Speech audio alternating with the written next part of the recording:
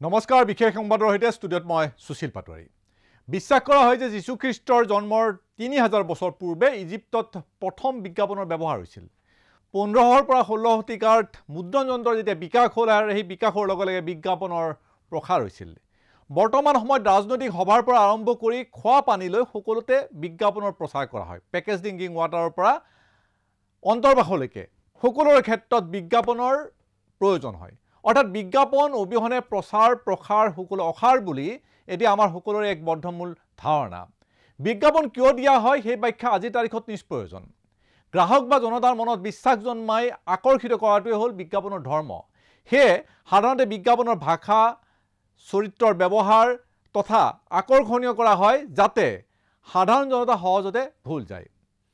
আজিৰ বিখ্যাত আমেৰিকাৰ কলকেট কোম্পেনীয়ে ঊনৈছশ সাতত্ৰিছ চনত ভাৰতলৈ আহিছিল। আৰু সেই সময়ত আমি ভাৰতীয়সকলে এঙাৰ নিমখ বা নিম গছৰ ডালেৰে আমি দাঁত মাজিছিলোঁ। আৰু সেই সময়ত হেনো কলগেট কোম্পেনীয়ে ভাৰতীয়সকলে ব্যৱহাৰ কৰা সেইসমূহ সামগ্ৰীক নৎসাত কৰিছিল আৰু তেওঁলোকে উৎপাদন কৰা দন্ত সামগ্ৰীৰ বিজ্ঞাপন চলাইছিল। আৰু তেওঁলোকে বুজাব বিচাৰিছিল যে আমি ব্যৱহাৰ কৰা এঙাৰ নিমখ আদি দাঁতৰ বাবে মাৰাত্মক। দাঁতৰ বাবে উৎকৃষ্ট সেই সময়ত কলগেটৰ উৎপাদ্য সামগ্ৰী বুলিয়ে তেওঁলোকে বিজ্ঞাপন চলাইছিল। কলগেটৰ বিজ্ঞাপনত ভুল গৈ ভাৰতৰ মধ্যবিত্ত উচ্চ মধ্যবিত্তই চকু মুদি কলগেটৰ সামগ্ৰী ব্যৱহাৰ কৰিছিল আৰু মধ্যবিত্ত উচ্চ মধ্যবিত্তৰ কাৰণে কলগেটৰ সামগ্ৰী ব্যৱহাৰ কৰাটো এক বিলাসিতা আছিল। সত্তৰৰ দশকত বিজ্ঞাপনৰ জোৰত কলগেট দন্ত সামগ্ৰীৰ ক্ষেত্ৰত অপ্ৰতিদ্বন্দ্বী হৈ ৰৈছিল ভাৰতত। এতিয়াও আমাৰ সমাজত বহুতৰ বাবে টুথপেষ্ট মানেই কলগেট। প্ৰতিযোগিতা বাঢ়ি অহাৰ লগে লগে কলগেটে বিজ্ঞাপনৰ ভাষাও সলনি কৰিলে। এতিয়া কলগেটৰ বিজ্ঞাপনত সোধা দেখা যায় কিয়া আপকে টুথপেষ্ট মে নমক হে? অৰ্থাৎ টুথপেষ্টত নিমখ আছেনে নাই আজিৰ তাৰিখত প্ৰশ্ন কৰে কলগেট কোম্পেনীয়ে। টুথপেষ্টত এঙাৰ থকাৰ কথাও এতিয়া কলগেট কোম্পেনীয়ে বিজ্ঞাপনত প্ৰকাশ কৰে। অৰ্থাৎ নামী দামী তাৰকাই বিজ্ঞাপনত এনেবোৰ কথা কোৱাৰ পিছত আমি পুনৰ কলগেটৰ টুথপেষ্ট কিনো।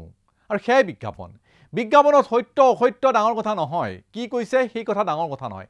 কিন্তু কিমান বিশ্বাসযোগ্যভাৱে তথা গ্ৰহণযোগ্য ব্যক্তিৰে সেই বিষয়টো উপস্থাপন কৰাইছে সেয়াহে মূল কথা।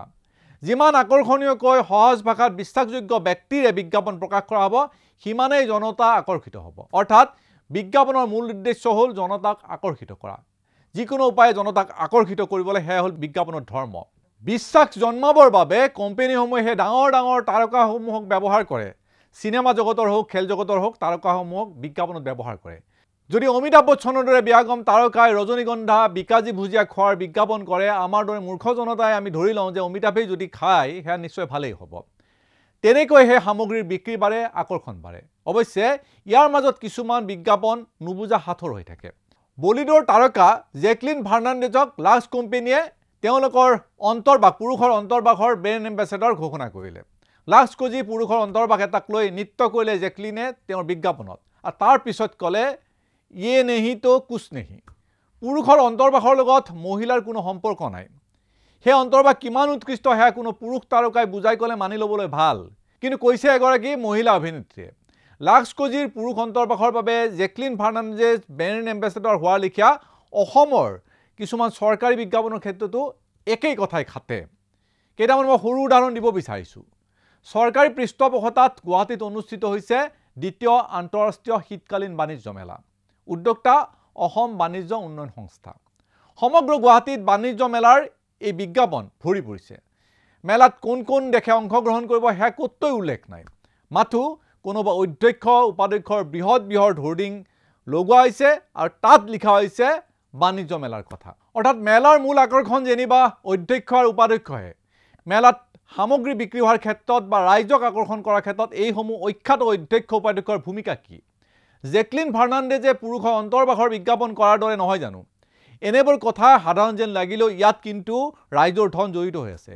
অধ্যক্ষ উপাধ্যক্ষই নিজৰ ফটো ছপাই চৰকাৰী অনুষ্ঠানৰ বিজ্ঞাপন কৰাৰ ক্ষেত্ৰত ৰাজহুৱা ধন ব্যৱহাৰ হয়। যদি বাণিজ্য মেলাখন সফল কৰাটো উদ্দেশ্য তেনেহ'লে কোন কোন দেশে সেই মেলাত অংশ ল'ব কেনেধৰণৰ সামগ্ৰী তাত উপলব্ধ হ'ব সেইবোৰ কথা সেইবোৰ তথ্য প্ৰকাশ কৰিব লাগে। এখন আন্তঃৰাষ্ট্ৰীয় খেল যদি ৰাজ্যত অনুষ্ঠিত হয় সেই খেলত কোনসকল খেলুৱৈৰ আগমন হ'ব সেয়া বিজ্ঞাপনৰ জৰিয়তে প্ৰকাশ কৰিব লাগে। কিন্তু আমাৰ ৰাজ্যত যদি এখন সাধাৰণ বেডমিণ্টন খেলো পতা হয় তেতিয়াহ'লে তাত ফটো থাকে ৰাজনৈতিক নেতাৰ। যেতিয়া তেখেতসকলেই যেন সেই নেতাসকলেই যেন আন্তঃৰাষ্ট্ৰীয় বেডমিণ্টন খেলুৱৈ। গুৱাহাটীত ব্যক্তিগত খণ্ডৰ উদ্যোগত বহুত বিখ্যাত শিল্পীৰ গানৰ অনুষ্ঠান শেহতীয়াভাৱে হৈ গৈছে। সেইবোৰ বিজ্ঞাপন প্ৰকাশ কৰা হৈছে। দৰ্শক শ্ৰোতাৰ হেতা ওপৰা লাগিছে। অনলাইনৰ জৰিয়তে টিকট কটাৰ কাৰণেও হেতা ওপৰা লাগিছে। আৰু সফলভাৱে উদযাপিত হৈছে তেনেবোৰ অনুষ্ঠান। কিন্তু সেই সফল অনুষ্ঠানবোৰৰ বিজ্ঞাপনত আমি কাহানিও যিসকল উদ্যোক্তাই সেই অনুষ্ঠান অনুষ্ঠিত কৰিছিলে তেওঁলোকৰ ফটো আমি বিচাৰি পোৱা নাই বা তেওঁলোকে তেওঁলোকৰ উদ্যোক্তাৰ ফটো নলগায়। তেনেস্থলত চৰকাৰী অনুষ্ঠানৰ বিজ্ঞাপনত ৰাজনৈতিক ব্যক্তিৰ ফটো কিয় লগোৱা হয়? যদি আত্মপ্ৰচাৰৰ উদ্দেশ্যই মূল বিষয় তেনেহ'লে তেনে প্ৰচাৰত ৰাজহুৱা ধন ব্যয় কৰাটো অপৰাধ। যিটো বিষয়ত যাৰ প্ৰয়োজন নাথাকে সেয়া আঁতৰাই ৰখা ভাল। নহ'লে পুৰুষৰ অন্তৰ্বাসৰ বিজ্ঞাপন মহিলাই কৰিলে যিদৰে দৃষ্টিকোটো দেখা যায় একেই পৰিৱেশৰ সৃষ্টি হয় এনেবোৰ কামতো। টাটা কোম্পানীয়ে বিভিন্ন সামগ্ৰী উৎপাদন কৰে। কিন্তু সেইসমূহ সামগ্ৰীৰ বিজ্ঞাপনৰ ক্ষেত্ৰত কেতিয়াও ৰতন টাটা বা টাটা চন্সৰ কোনো বিষয়ববীয়াৰ ফটো ব্যৱহাৰ কৰা নহয়। ৰাজনৈতিক সভাত ৰাজনৈতিক নেতাৰ ফটো ব্যৱহাৰ কৰি প্ৰচাৰ কৰাৰ ক্ষেত্ৰত কাৰো আপত্তি থাকিব নোৱাৰে। কিন্তু খেল মেলাৰ বিজ্ঞাপনত ৰাজনৈতিক নেতাৰ ফটোহে অসহ্যকৰ হৈ পৰে। খেল মেলাৰ বিজ্ঞাপনত ৰাজনৈতিক নেতাৰ ফটো ব্যৱহাৰ কৰা আৰু পুৰুষৰ অন্তৰ্বাসৰ বিজ্ঞাপনত জেকলিনৰ অভিনয় একেই কথা।